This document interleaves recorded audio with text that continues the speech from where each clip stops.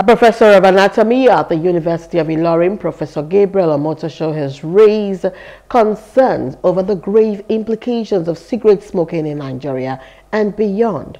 A development, he said, is responsible for the death of over 8 million people who are engaged in smoking globally, according to the World Health Organization, WHO.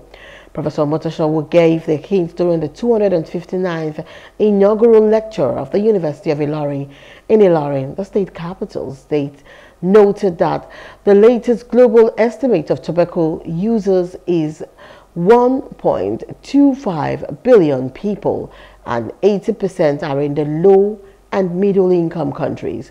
Speaking on the theme, White Matter in the search for phytochemical candidates for demyelinating disorders. Professor Gabriel Omotoso maintained that out of the 8 million yearly death from tobacco usage, 1.3 million are non-smokers exposed to secondhand smoke, saying one out of every Nigerian smokes daily.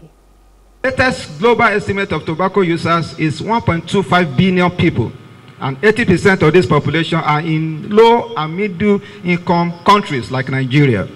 Tobacco causes more than 8 million deaths yearly, out of which 1.3 million are non-smokers exposed to second-hand smoke, making it a leading cause of preventable death and disease worldwide. Although a declining rate of smoking has been recorded, one out of 10 of the Nigerian population smokes daily despite a great deal of health education and awareness on the grave implication of cigarette smoking, many people are still caught in the web of the habit, while tobacco companies continue to make a fortune on their business and sabotage efforts at curbing the menace. Hence, the need for all of us to arise and protect our children from tobacco industry.